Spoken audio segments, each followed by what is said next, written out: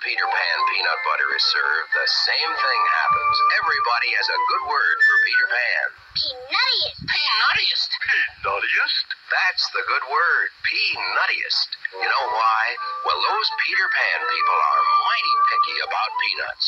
They start with the best grade. Then, through an exclusive process, they remove peanuts that may not be sweet enough, tender enough, fresh tasting enough.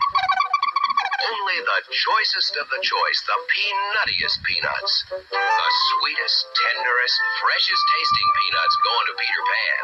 This means Peter Pan costs a little more, but oh, the eating is worth it. What's the good word?